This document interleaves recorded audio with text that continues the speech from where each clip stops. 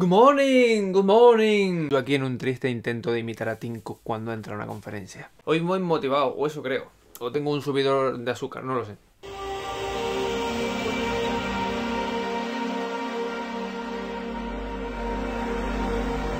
Hola a todos, bienvenidos de nuevo al canal y bienvenidos de nuevo aquí a MacVega a otro vídeo más donde tengo muchísimas cosas que contaros. Eh, lo de la presentación de esa intro que acabo de hacer Nintendo Ten Cook, eso olvidadlo, quedaos con esta parte del vídeo, esto es lo guay. Hoy tengo muchísimas cosas que contaros, tenemos cosas que hablar de la Keynote, cosas que son de última hora de nuevos rumores que han salido eh, para antes de mañana. Tengo que contaros sobre todo productos de Apple que he estado probando este fin de semana, como el HomePod o el iPhone XR, que Ahora vamos a definirlo así. Y todo eso os lo voy a contar en este vídeo. Así que vamos a empezar, pero antes quiero pedir perdón a los que estaban esperando que esta semana sacara eh, el vídeo sobre el iPhone 3G y el vídeo de los eh, contestando a los haters de Apple. Eso lo dejaré para después de la Keynote porque no esperaba que fuera a aparecer Keynote para mañana. Entonces lo tenía planeado para esta semana, pero las nuevas novedades de la Keynote me hacen que tenga que retrasarlo hasta la semana que viene. Pero la semana que viene los tendréis porque ya los tengo preparados y además que han quedado muy chulos. Ahora sí, vamos a hablar de lo que nos importa, que es de los productos de Apple actuales y los que van a venir. Voy a empezar con unas pequeñas notas de eh, esos productos de Apple que pude probar el fin de semana antes de meterme en la Keynote, que hay bastante que contar antes de mañana, y unos rumores que han salido ahora hace poquito, y algunos que no ha dicho prácticamente nadie, y yo sí que me he conseguido para mí solito o casi. Bien, vamos a empezar hablando de los productos de Apple que he podido probar este fin de semana. A España llegaban el viernes tanto el HomePod como el iPhone XR.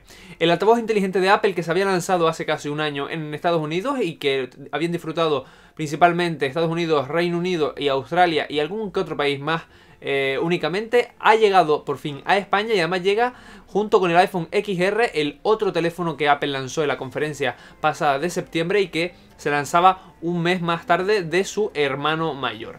He podido probar los dos en tienda, no los puedo traer aquí, obviamente no hay dinerito, si queréis colaborar para que aparezca alguno de esos productos y al final os comento algo de eso, eh, me lo dejáis en donaciones y yo obviamente lo agradezco, intento traer algo de eso y sabes Sabéis que siempre lo intento, aunque no sea mío, prestado, como por ejemplo el vídeo del Apple Watch, que te dejo aquí en la esquina, que tienes que ir a ver ya, pincha aquí, ve a ver el vídeo y luego sigues con este, o terminas este y luego vas allí, donde tú quieras. Pero bueno, la cosa es que el fin de semana me pude acercar a una tienda a probar ambos dispositivos.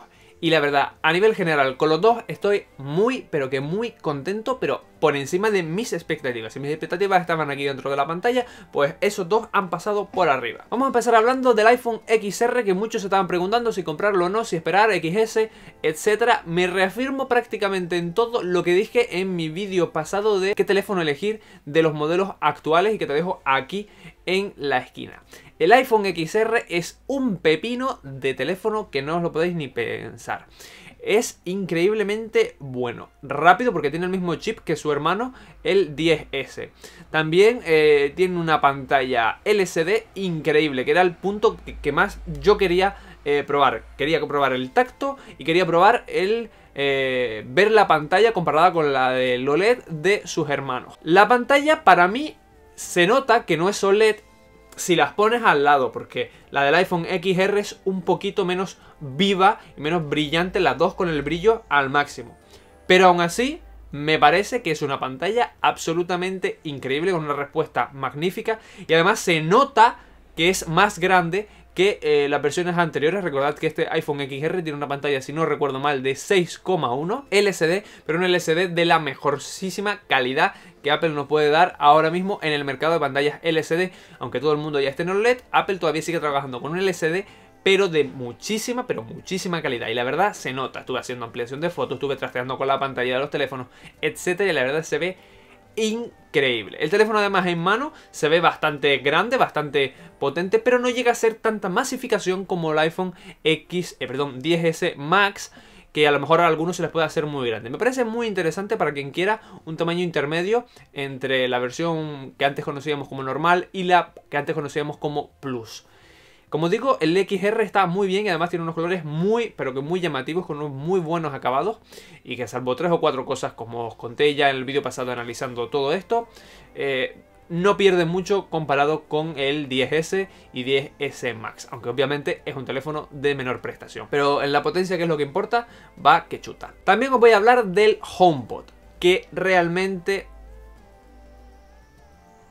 O sea, acabo de caer enamorado con el HomePod. De hecho, no descarto comprarlo a un corto plazo prácticamente porque voy a intentarlo. Si alguien, como digo, es lo que contaba antes, quiere echarme una mano y que verlo en el canal, aquí en las donaciones de PayPal, aquí en la descripción, podéis donar si queréis y eso pues ayuda a que el HomePod llegue antes al canal. Pero vamos, que prácticamente lo tengo claro que lo voy a traer sí o sí, no sé cuándo, por dinero más que nada, pero lo voy a intentar traer, porque me ha enamorado a unos niveles bestiales. Mi experiencia con el HomePod eh, como estáis viendo en imágenes, también la he puesto en Instagram. Instagram que os dejo aquí en la descripción y que también tenéis en la parte de abajo, etcétera. La fui poniendo en historia de Instagram. Eh, el HomePod es muchísimo mejor de lo que yo pensaba y ya las tenía eh, las expectativas muy buenas. Es decir, el HomePod es increíblemente bueno en calidad. Me ha asombrado en la calidad muchísimo. Tiene una potencia descomunal. Daos cuenta que lo estaba probando en un centro comercial con todo abierto, con mucho ruido, con gente, con un espacio enorme. Y aunque el segurita al final acabó mirándome un poquito mal y la gente de allí empezó a mirarme un poco mal, no me corté un pelo, puse el volumen al máximo, al 100%, le dije, oye Siri, ponme el volumen al 100%, me dijo, ¿estás seguro? ¿Es demasiado alto? Yo le dije, sí, dale para adelante. Y puse el volumen al 100% y aquello se oía como, vamos, aquello era una fiesta. Es increíblemente bonito, y es muy chiquitito, esa es una cosa muy amasadita, es muy chiquitito, muy mm, pequeño, muy que cabe en cualquier lado, que decora todo perfectamente, que es absolutamente precioso, un muy buen tacto, yo lo que probé fue el color negro, además muy bonito, pero es muy chiquitito, o sea, otros altavoces, como los de Google y demás, los he probado en tienda y demás, y sí, también, pero no tienen esa calidad, pero para ser tan chiquitito lo coges y se nota que tiene mucha calidad porque tiene un buen peso, o sea, el tío pesa lo suyo y pega una castaña en audio increíble. O sea, se oye súper bien con unos graves increíbles. De hecho, las vibraciones son una de las características más importantes de este altavoz que se le criticó al principio, de que incluso podía dañar un poquito, dejar marca la madera de tanta vibración. Hay tipos de acolchados, extra, accesorios, etcétera, para evitar esto. Porque tiene unos graves muy potentes y en agudos y en calidad de sonido en general es el mejor para mí de lo que hay en el mercado. Ni Sonos, ni Google Home, ni Alexa, ni su madre el HomePod, vamos, el mejor de calle. Pero ahora sí, voy a dejarme de locuras y voy a empezar a hablar de la Keynote, vamos ya con lo que nos importa, porque si no contaba esto del HomePod, creo que me quedaba con cosas dentro que contar. Y no quiero nunca quedarme con esas expectativas y esas cosas sin contároslas, porque vosotros a lo mejor estáis ahí en la duda de compro o no compro, ves los vídeos de MacBeca y al final acabas comprándolo con una muy buena decisión. Fiad de mí, que yo nunca os miento. Un momento. Para, para, para, para, para. Ve aquí a la parte de abajo y suscríbete y sobre todo comparte este vídeo que sé que te está gustando y quieres que tu amigo, tu amiga o quien sea se entere. Así que le das a suscribirte, activa las notificaciones y luego se lo envías a alguien para que luego tengas con quien comentarlo. Vamos, hazlo. Ahora sí, vamos a hablar de la Keynote. Tenemos Keynote mañana día 30, pero os recuerdo que no tenemos los horarios normales. Los horarios se han adelantado unas 2-3 horas. Los horarios son los que estáis viendo en pantalla. También los voy a poner en la pestaña de comunidad, los pondré en Facebook, los pondré en Twitter, los pondré en Instagram y los pondré en todos lados para que nadie se pierda la Keynote. Eh, según termine la Keynote, yo subiré un resumen con lo más importante y luego los siguientes días os iré lanzando eh, vídeos de los dispositivos que se van a lanzar. Y atención porque aquí van las cosas potentes. Acaba de salir un rumor, pero hace nada lo estaba leyendo en Estados Unidos sobre eh, que han detectado dentro del código de iOS 12 un nuevo dispositivo de iPad que al parecer vendría a confirmar lo que ya sabíamos, un iPad sin notch, con marcos reducidos, con Face ID, sin botón home, más reducido y que vendría, como digo, a confirmar esa especie de iPad X, iPad Pro X, que se tiene que renovar. Pero es que además de esto vamos a ver otro segundo dispositivo en las fuentes de iOS 12 y es que pudiera haber un Apple Pencil 2. Un dispositivo que no se renueva desde hace 3 años, desde que saliera el primer iPad Pro, junto con el teclado que también a lo mejor se renueva, aunque no será tan importante como el Apple Pencil, al que se le han visto, o se rumorea, pudieran vérsele nuevas acciones como deslizar, un botón eh, de doble tapping, etc. Y ciertas cosas que Apple intentaría mejorar en su lápiz inteligente. ¿Qué dispositivos espero también en esta Keynote de Apple? Bueno, muchos de vosotros me habéis estado preguntando si va a salir esto, va a salir lo otro, etc. Yo, apuestas seguras, solo haría la del iPad Pro. Es la única que creo que va a ser clara y segura. Si queréis que os diga corazonadas por rumores viejos, por mm, lo que creo que toca que salga, etc., yo apostaría por un MacBook Air renovado. Creo que ya le toca y sería para la campaña navideña un auténtico bombazo. Y creo que todos queremos un MacBook Air nuevo y renovado. No sé si habrá una renovación del MacBook, depende de si la confluyen en el MacBook Air nuevo o cómo lo terminan de hacer, pero si no, puede que también haya una renovación del MacBook para hacerlo todavía más ligero y demás.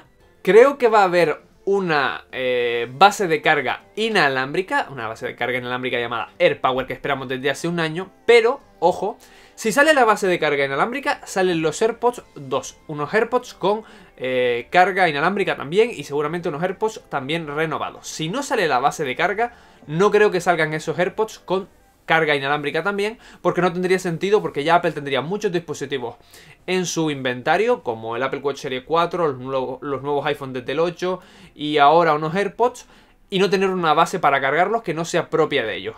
Llevan un año de retraso y ya la habían anunciado, así que creo que están esperando para hacerlo bien, a lo mejor han tenido algún problema en producción o lo que sea, pero si sale, todo sale todo junto. No creo que vayan a sacar cosas de separado. O sea, o vemos todo lo inalámbrico o no vemos nada hasta que salga bien hecho. Ya en las cosas que creo que va a salir menos y que menos probabilidades tiene, o a lo mejor me sorprenden y eh, Tim Cook viene y se está riendo de mí porque me está viendo en mis vídeos, porque yo sé que soy uno de los mejores canales de tecnología y de Apple que hay en español, así que Tim Cook me ve y dice por las mañanas, mira, vamos a fastidiar un poco a este chaval, vamos a reírnos un rato de él y vamos a lanzar un Mac mini pudiera salir un Mac mini, es otro dispositivo que le toca renovarse, ya lleva mucho tiempo sin renovarse, y también pudiéramos a lo mejor ver una renovación de los iMac de ahí atrás. E incluso, ¿quién dice que no de unos AirPods de los de cable, una nueva mejora del Magic Mouse o del Magic Keyboard, etcétera, pudiéramos ver mejoras en alguno de estos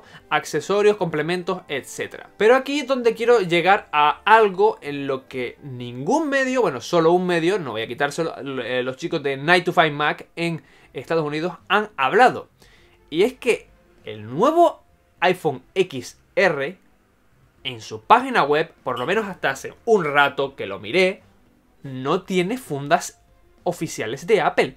¿Cuándo ha salido un teléfono de Apple sin una funda? Por favor, que alguien me lo indique. O sea, si miráis la página, hay para el XS, para el XS Max, para los iPhone 8 y anteriores, etc. Pero no ha salido una funda oficial, si las hay al fondo de la página, eh, tanto en español como en Estados Unidos, para eh, de desarrolladores terceros, pero oficiales de Apple no hay para el XR. Y ahora es cuando vengo a contar un rumor que oí hace ya como un mes, dos meses, cuando eh, acaba de salir el XR.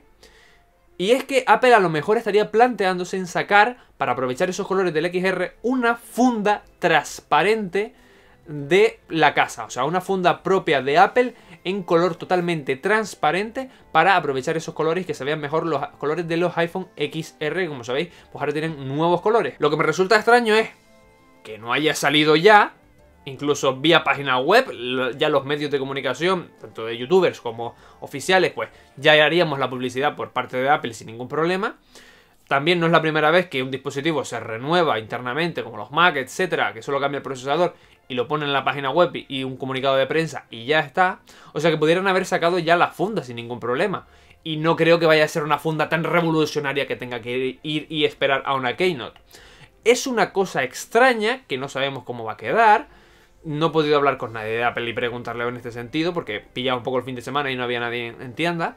Pero si entras a la página web, ves que no hay funda del iPhone XR. Así que, como digo, puede que Apple nos dé al principio un par de accesorios, un par de historias nuevas para eh, ir haciendo un poco de entrante a esa Keynote que veremos mañana. Es extraño que hoy esté grabando y no haya pasado ya el de la moto, ¿eh? Porque el tío siempre espera yo grabar para pasar, ¿eh? Y bueno, esos son prácticamente todos los rumores, noticias y todas las cosas que os quería contar sobre Apple, tanto noticias como rumores como la prueba de producto.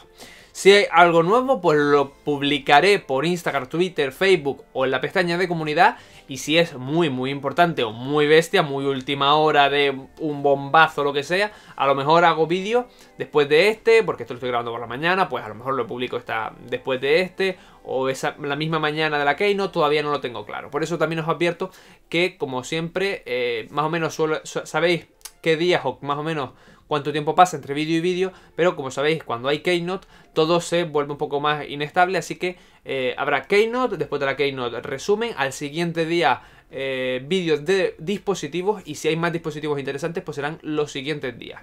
Y luego ya la semana que viene volvemos pues más o menos como siempre. Antes de irme quiero saludar a usuarios como Chris que el otro día se quedó a las puertas de ser saludado pero llegó tarde y el otro día fue su cumpleaños así que saludos y feliz cumpleaños aunque sea de forma un poquito más atrasada. Te prometí que en el próximo vídeo te saludaría y así se ha hecho. Y si tú también quieres el tuyo, dímelo en comentarios, en redes sociales o en algún lado donde me quede constancia.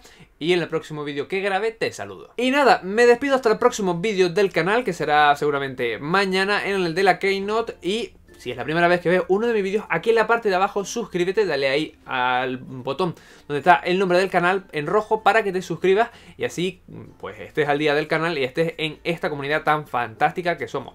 Aunque últimamente os tengo que decir a los suscriptores que no me estáis viendo tanto, estáis solo en el 6%, o sea, a ver si me veis un poquito, que paso os suscribís, hombre. Y además los vídeos están, sabéis, muy bien. Después de activar eh, esa suscripción, al lado en la campanita le das ahí clic, como estás viendo ahora en pantalla, y así activas las notificaciones y cuando suba esos nuevos vídeos de resumen, de la Keynote, etcétera, pues YouTube te manda un aviso y así no te pierdes nada del canal, algo que es absolutamente fantástico. Y para todavía no perderte nada dentro de no perderte nada por si YouTube falla, sueles también a veces fallar con un poco de asiduidad, pues tienes las redes sociales como Twitter, Facebook o Instagram que están apareciendo por aquí, que tienes en la descripción, que tienes en el banner del canal, que tienes en prácticamente todos lados y si no me buscas por el nombre y lo encuentro. Donde también podéis contactar conmigo, enviarme mensajes directos, comentarme cosas, etcétera y también por ahí subo los vídeos cuando los publico.